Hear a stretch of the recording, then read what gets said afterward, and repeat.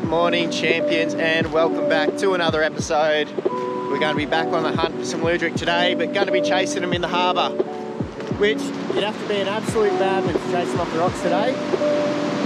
But first step, we're getting some cabbage with some uh, bait and burley, so we're just going to be heading down to that little ledge down there. But it looks like old mate's picking up a bit right now.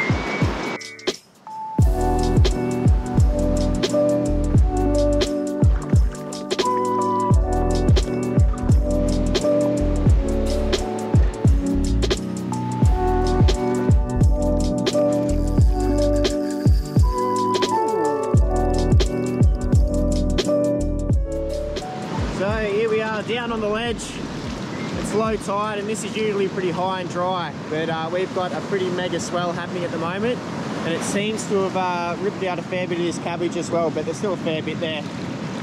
You will notice that big swells tend to thin it down as well as if you have long periods of uh, flat swell because they do need a little bit of wash coming up over the rocks every now and then and that'll kind of set you in the right direction to um, finding some cabbage for yourself.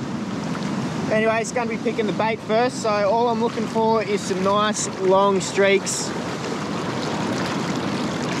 And just like when chasing them off the rocks, I want to keep the root attached, which you just got the root up there. That's a prime little bait there, but some nice longer bits is always good. But yeah, you just want to pick the whole plant for collecting your bait. When I switch to getting burley in a bit, I don't really mind just taking you know, the tips of the leaves and that way the plant's going to regrow. And this stuff is the kind of darker cabbage where I usually like the light green stuff, but this should still catch fish. Little bait bucket's pretty handy when you're collecting your bait. Keeps your hands free. Here's a nice bit here. Beautiful. All right, so that's going to be plenty of bait. That's going to be plenty of burley as well.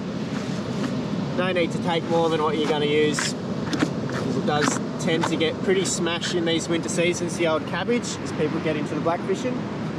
So that's sorted. Now we're just going to need some sand for the burley mix. And what I like to go is go about you know, five or six times the amount of uh, cabbage you got there. So it's going to be about nearly half a bucket of sand. All right, now we have it all set. And you just want to make sure that it's not completely wet sand. This stuff's a little bit damp, but dry sand will be best because then you can just add the right amount of water to it to get the right consistency you want, which I'll show you in a bit. Anyways, I'll catch you down the harbour. Well, here we are guys, the majestic Newcastle Harbour pretty special episode today. We've got our first guest angler, my mate Deano Buckpit. How you going? Good, mate. That's good, bloody What's your favourite fish to catch, Deano? Luderick. I reckon he's the man for the job. Bloody. Right, while he's having a flick, I'm going to go down to sorting out this burley. So I'll show you what's going on there. Alright, so all I did was separate the weed and the sand did all the weed out. I've just got this last little bit to chop. Kitchen shears, they're pretty handy for uh, chopping your mix up.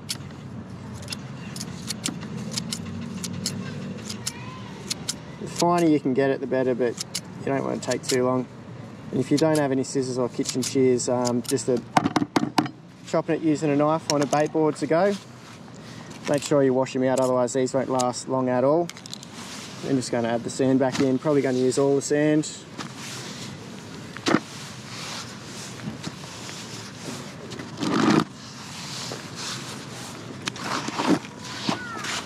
Give it a mix, see how she's looking.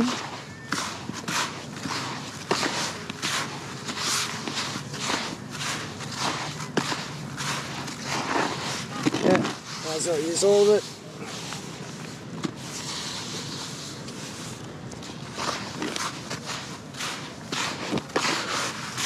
Beautiful, and that's looking good to me. That's a pretty rich looking burley. You wouldn't want it much, much more sand, uh, weed to sand ratio than that. Right, next we're just going to add a little bit of seawater and I've just got some in this bottle just to make it easy. Just going to add a bit of time. And you just want to dampen it up.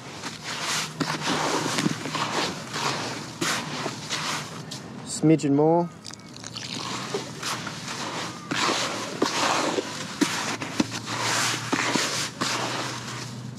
And you just want it so it's going to form nice balls. If it's too dry, the uh, sand's going to spread out and the weed's going to spread out when you're throwing it and when it hits the water. It's not going to sink properly. Same thing as if it's really wet, it's going to spread out too and it will just kind of uh, disperse kind of near the surface instead of if you form a nice ball like that and you drop it in the water, it's going to sink and spread out and you're going to have a nice bit of burley through the whole water column. A little bit more, why not? And then lastly, just gonna cut this bottle. Jesus. Oh, and Deano's on. Look at that, beautiful. He's not a bad fish.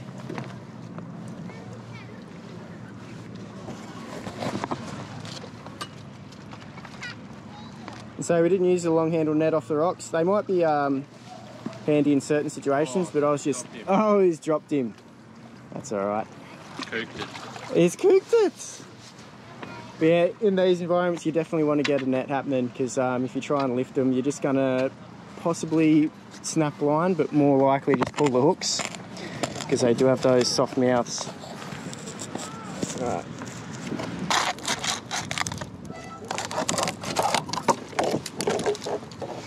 So, and this is what we're going to use to chuck in our burley, and it's just going to stop your sands get your hands getting sandy and getting sand all over your reel.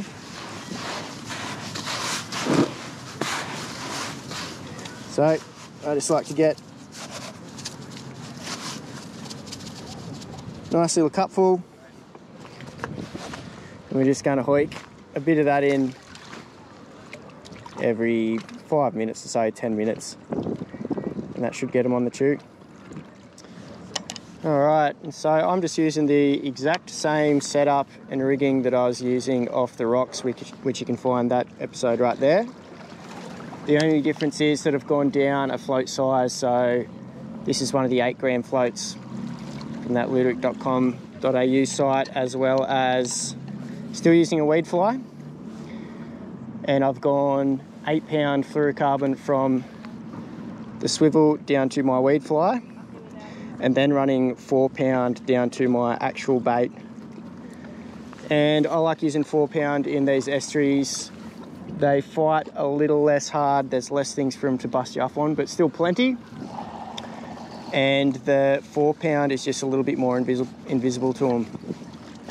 As well as if I hook the bottom, it just means that that four pound is going to break and I should still have my weed float. So we're just fishing off the breakwater today, which is, you know, prime territory for estuary luderick. And they're usually pretty common in most places, but natural rock bars, jetties near a rocky, weedy bottom, they're all going to be fair game. You're not really going to find your luderick over just sandy flats or anything like that. But anywhere with a bit of rock, a bit of structure, you're in with a chance. So at this particular spot, it probably drops down to about five meters pretty quickly. Oop, and we've got it down, gonna let him have it. And we're into him. Oh, he's only a little fish. Only a very little fish.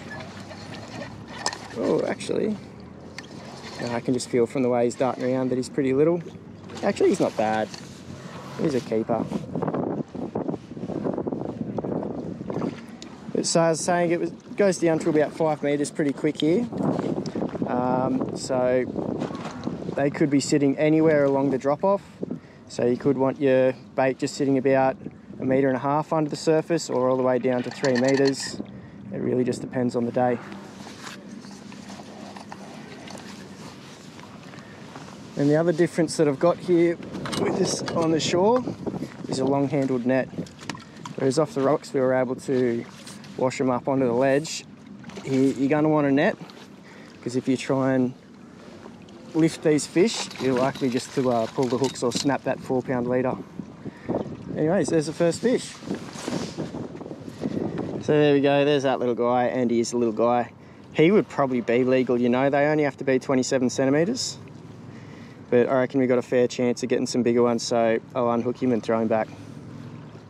All right, we're back out there. So I'm fishing about nine foot and I'm just gonna see if it needs to change. If we're getting fish about that nine foot, I'll leave it there. If I'm getting none, I'll probably go deeper. And if none there, I'll probably come in really close and go quite shallow. And what we've got today, we're near the top of the tide. Um, and what I've found with Luderick, you definitely want a little bit of tidal movement. The old adage, no run, no fun kind of applies to them. So either side of the tide. If I had to pick high tide or low tide to fish over, high tide's a little bit better. The kind of the top half of the high either coming up or going back down would be my favourite conditions for in here. I just got a little touch before. If there's heaps of little fish around, I'm just going to stop the burley and um, we're going to see if they bugger off and a few bigger ones just start cruising up and down. And I'm not going to go too much into the gear to use for these guys on this one. I went through that pretty in depth on the rock fishing one, which I'll put in the top right of the screen again now. But the same rules apply. You're going to want a pretty long, slow tapered or soft rod to soak up their, their head shaky fights.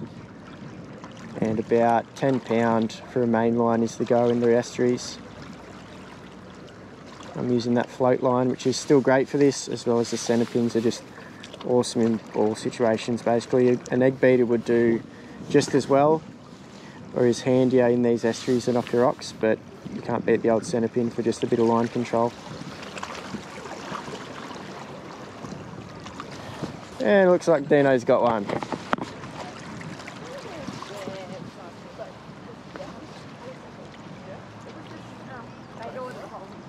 Looks like a bit of a better one this one. Oh, pigeon's getting in on the action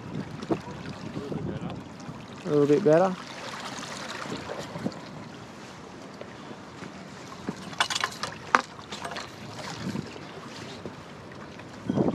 Yeah, give me a bit of curry. I'll put that one there for you, mate. Yeah, he is a better fish, and it looks like I'm getting a little bit of a down as well. So I'm going to click this back into the chest. Actually, I think I've just got the bottom you can just tell by the way the float isn't really going down any further, it's just angling to the side. And Deano's got a good fish. Taking a bit of drag.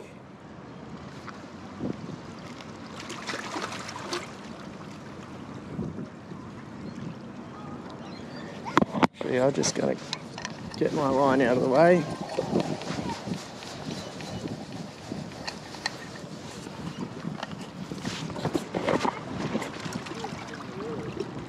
But you don't want to rush them. Just wait for them to try themselves out a bit. When they're flapping around on the surface, just slip that, that net underneath them. Oh, so close. Yes, these are much better fish. So this is the quality of fish that'll come into these harbour systems as the winter progresses. They move up the coast. Lovely yeah, they'll move up the coast and come into these harbours and the river mouths and things like that to spawn. Nice fish, mate. There we go. That is a lovely luderick. He'd be that upper 30s, maybe even touching the 40. Good fish, Deano. And so yeah, same as off the rocks, you're gonna want to keep them fresh. So we're just gonna chuck him in that catch bag and probably go hang him off that bit of jetty over there.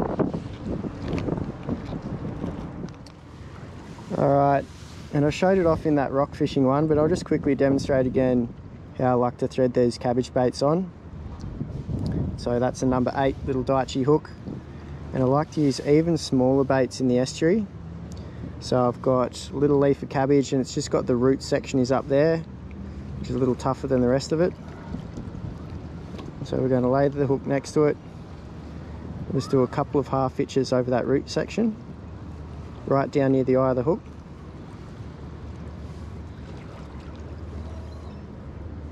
and then we're just going to thread it on like any other bait. Just go through a couple times. Make sure the hook, po hook point is shown. And that is a tasty little morsel for one of these estuary luderick.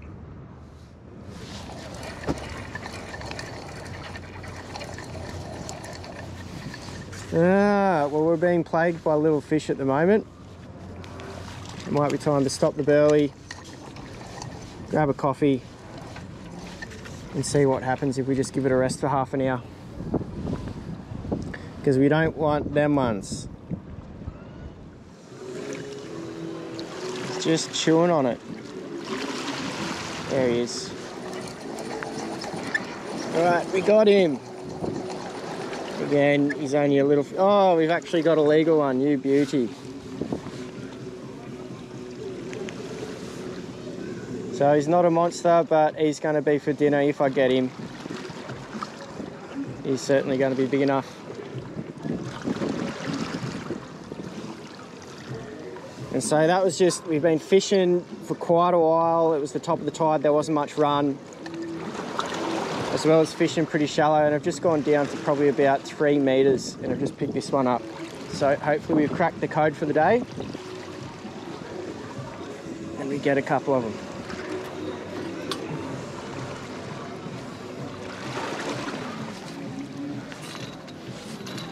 And Deano's on as well. Yeah, boy. All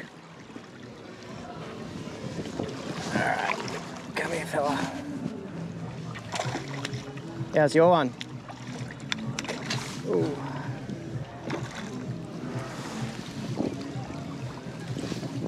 Beautiful. All right. I'm on the board. And Dino's got a little tacker over there.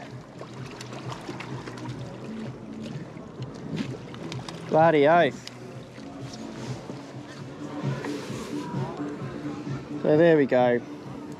Nothing monstrous, but that's perfect eating size, around about that 32 or something centimetres or so. You'll see a bit of that cabbage poking out of his mouth. You beauty! He's another good fish.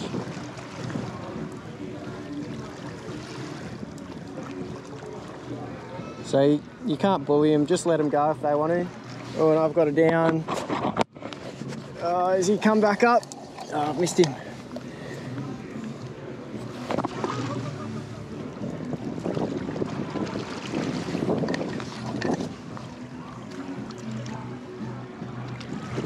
Yeah, you just got to wait for the opportunity. Try and get them flapping on the surface and just slide that net under. Ah, oh, beautiful. Love your work, Deano. Another quality fish. So there we go. There's that one. Another chunky fish. Beautiful. Well, ladies and gentlemen, it seems we've got a bit of live music to accompany us. That's all right. Hope they're good. Oh, yeah, baby.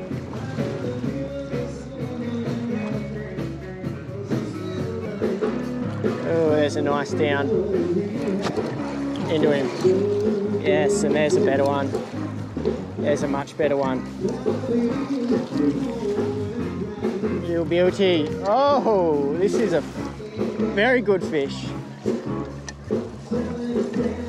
There's just a little one that's going hard. No, I think this is a very, very good fish.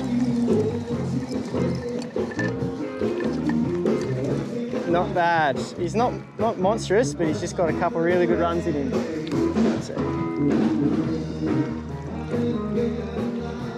It. Oh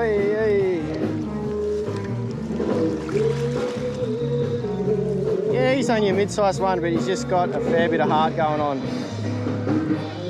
Got the tunes aboard him on the chew.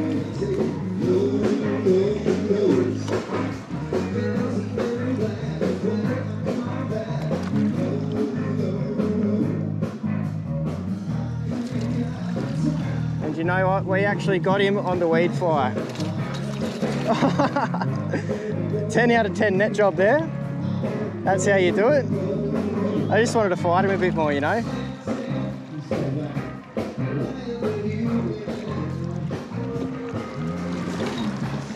All right, take two.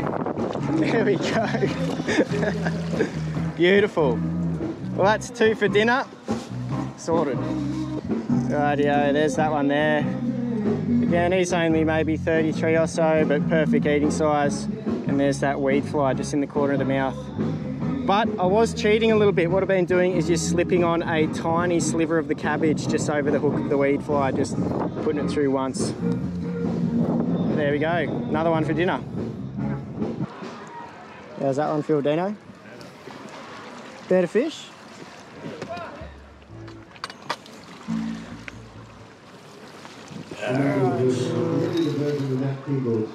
So the big ones might have come out to play.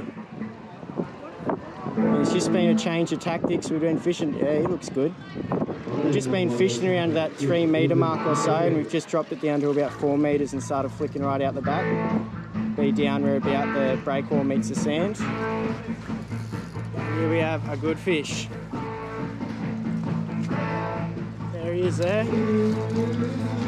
If we can get him for him. Oh, he nearly came out of the nets. Beautiful. Right, I'll hand that off to Deano and we're going to get back in there. Very nice one. And Deano is on. We get the net for him. Good one? Oh, I've got it down, man. It's all happening, ladies and gentlemen.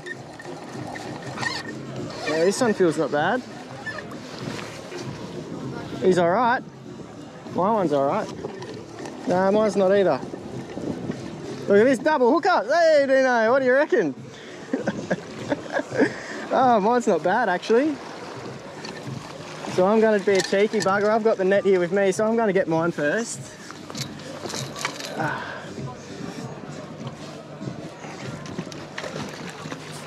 So here we go. Come on, buddy. Come on, just stay up a bit longer. There we go. Look at this. Oh, so close. Uh-oh. Little luderick action, Jesus. Oh, not yet. No, not yet.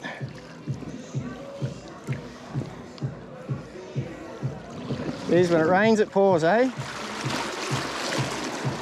Yeah, let him out a bit that way for us. Oh, come on, mate.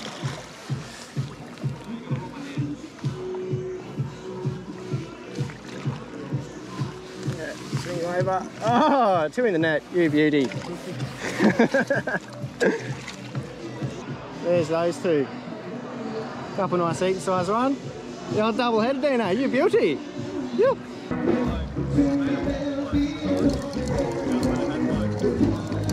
Super slow down. And I don't think he's going to be a monster.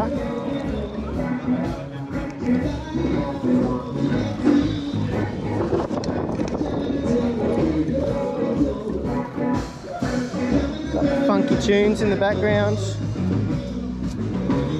Holy Jesus. Cardeno.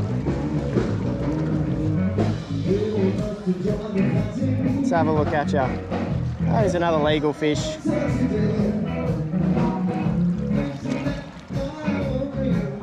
They just sit there doing that very head shaky fight. There we go. So there's that little guy right there. It'd be a legal fish, but we're gonna let him go. But what I want to do now is just show you how I like to clean my luderick up. Talk a little bit how to look after the fish because you do want to treat them right if you want to get the best bit of fillet off them. So we've got ourselves a pretty healthy looking bag here at the moment. I've just pulled this out of the water. We've made sure these fish have stayed nice and fresh. And you want to do that with your luderick. You want to treat them right, otherwise your uh, flesh is going to start tasting a little weedy. So what you want to do to make sure you get the best bit of meat off them is we're going to brain spike them. Here, if you just follow this little gill flap here, up to that spot right there, you're going to find the brain. And as soon as you get in there, you'll just notice that their fins are going to flare up, their eyes are going to twitch a little bit. And that's it, he's dispatched. Next we want to do is bleed them. So we're just going to cut right down to the back of the spine there. And I've just got a bucket of salt water here and we're just going to chuck them in that. And that's just going to help the, the bleeding process a little bit. So quick as we can, we're just going to do this to all the fish here. And then we'll go from there.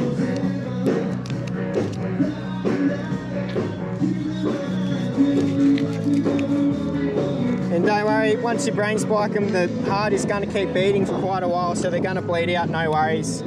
You may as well brain spike them before slitting their throat, just seems the right thing to do. So again, you just got to follow that first little gill up, right there, just above the eye kind of. There we go, that's him done. Make sure you give it a bit of a jiggle around. If you just poke it in there and then leave it, what you'll find is they're likely dead, but they can keep breathing and that kind of stuff. Keep jiggling around.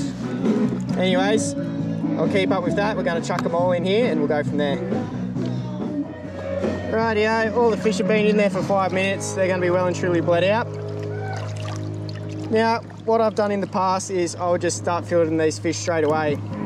But what I want to do today, and I reckon this would be the best way to get quality meat off the fish, is we're now going to chill them, not for too long, probably just at a 15 minutes or so.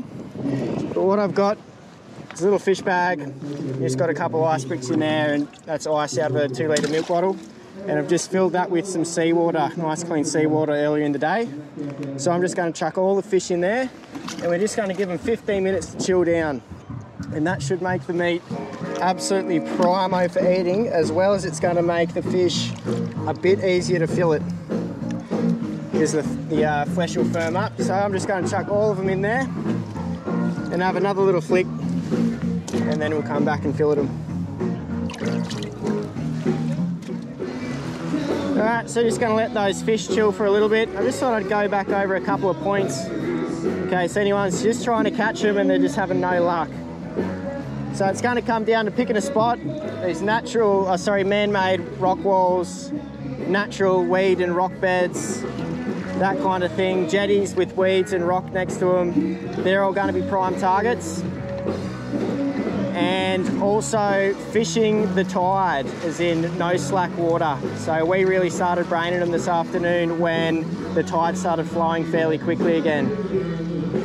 The last one is change your depth. If you're uh, having no success, try going a little deeper and probably a little further out, or try going shallower and much closer in. Uh, missed him. But that was a big part of the success me and Deano had the Sabo as well, is just changing the depth. We were trying to fish where we usually get them, and that's about, you know, two meters, two and a half meters down. And once we changed to about four meters down and casting further out the back, we just started getting them. Anyways, I'm gonna see if I can get a couple more just for fun and then we'll get back to filleting. Alright guys, time to run you through how filleting these ones or how I like to do it. So what we're gonna need is a little cutting board. That's just gonna be essential for skinning the fish. Good fillet knife. This is a Victorinox Swibo, which I really like these. They're pretty cheap, but they go pretty good a little knife sharpener, but this isn't going to get a dull knife very sharp, but it is going to help with keeping a sharp knife sharp. If you just run the knife through it every couple of fish or so. Also just got a bucket of the water we've caught the fish in and I'm gonna try not to wash the fillets if I can. Um, it's gonna be for washing down the cutting board and washing the knife if you do need to wash your fillets, you do got to make sure, and it's a saltwater fish, you got to make sure you do it in seawater. Otherwise, it's just going to wash all the goodness, all the fishy goodness out of it. Right, going to pass the camera over to Deano, and we'll get into this fish.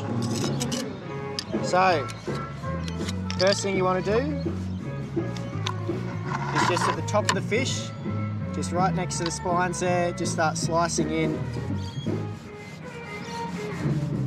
as soon as you've broken the skin like that, we're going to put the tip of the knife in and we're just pressing down against the, the spines that come out from the backbone. We're pressing down against those and just doing clean slices up towards the arm head. So pressing down, clean slice.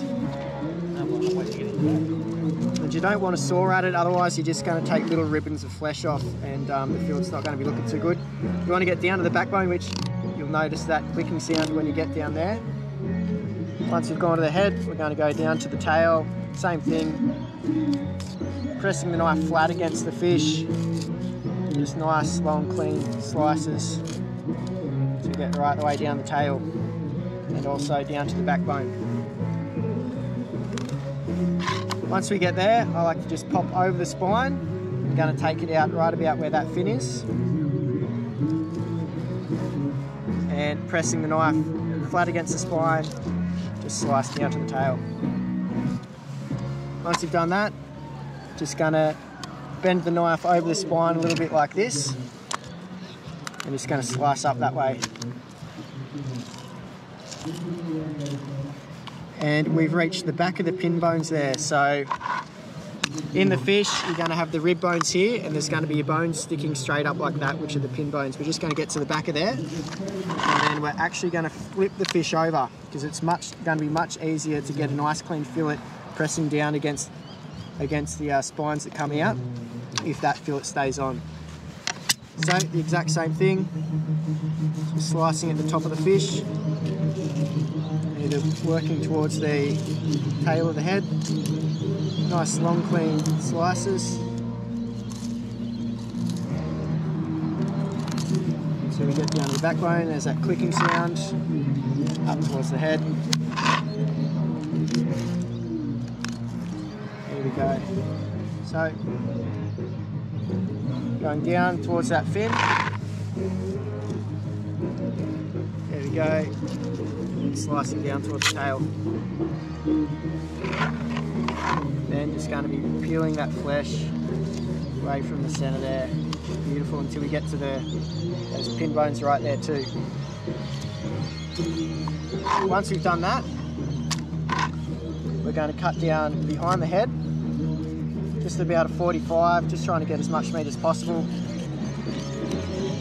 and connecting up with where we've sliced through to going to cut down to the pin bones.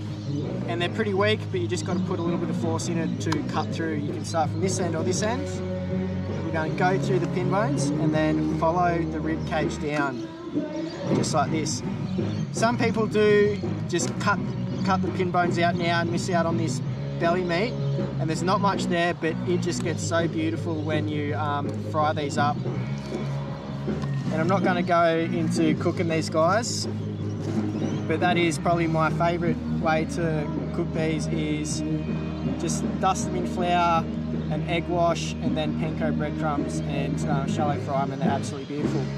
So we're just going to slice down against following the rib bones there and once we get to this bit instead of cutting like this just lay the fillet flat again and you're just going to get a super clean fillet. So we would do the exact same on this side actually, we may as well. So we've gone up there, angle it behind the head, cutting down and connecting up with what we've already cut through, just like that. And then we're going to go through those rib, those pin bones. You hear them go snap, snap, snap. And then we're just going to follow the ribs down, just like that. And we're getting that beautiful belly meat. Then once we've, we've kind of cleared the ribs there, I've actually just accidentally picked up those ones there. So we'll shave them off. So, and then I just put the knife in and we're going to keep following the ribs down like that. And again, lay the fillet flat on the fish when you do this final little cut here. There we go, a couple beautiful fillets. Next step is we're going to skin them, which you do want a sharp knife for. I'm just going to give the board a little bit of wash. Rightio, skinning them.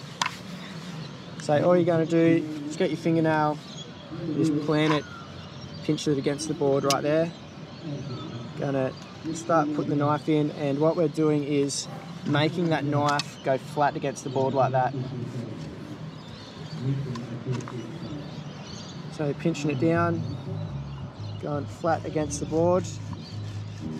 Just once we've got a little bit there, we're going to pick up the fillet, pinch it with our thumbnail again, and it's a combination of just jiggling the knife and pushing it away from you like that while keeping it flat on the board.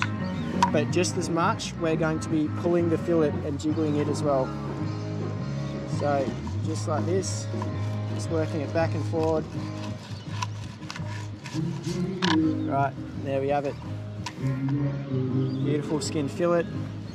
The last little step is we're going to get rid of those pin bones, which you can feel they just go to there. This white stuff you get in the back of the belly, that's fine. That's fine to cook. So I just can just feel the pin bones finish there. And I like to go on the belly side first. They just seem to be, seems to be easiest to go that way and then focus on the top, but we're just going to cut them out by going each side. So going as close as you can.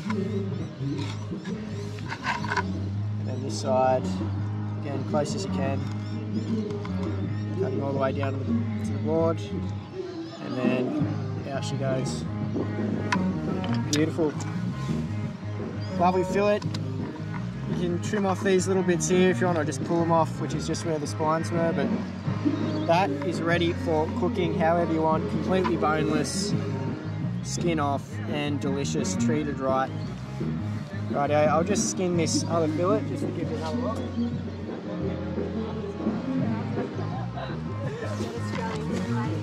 Wash. Knife a little sharpened.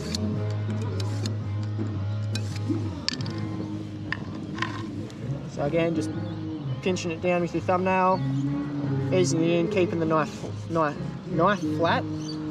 Then once we get a little ways in, we're going to pick it up, pinch it, and just the combination, wiggling the knife, wiggling the, the fillet with the other hand, keeping that knife flat. There we go. Another beautiful little skinless fillet. And again, just starting with the underside of these pin bones.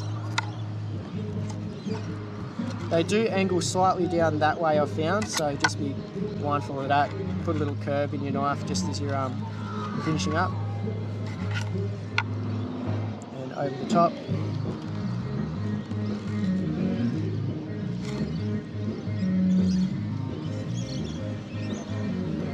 There we go. Beautiful little fillets. Alright, Deano's just ripping it is, but I just thought I'd show you this off. So, one every few fish, it's mainly these river fish, which are these darker ones. The ones off the ocean are quite a bit um, more silver. These ones can have the odd little parasitic worm in the flesh.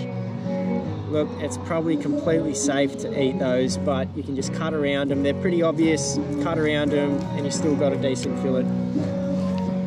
Anyways, and the frames, look, you can hoik them in if you want, or you can use them for crab bait, but what I'm going to do is keep my couple, and that's going to be used for beach worming bait, which in the very near future, I think, I'm going to release a beach worming guide for anyone who might be interested.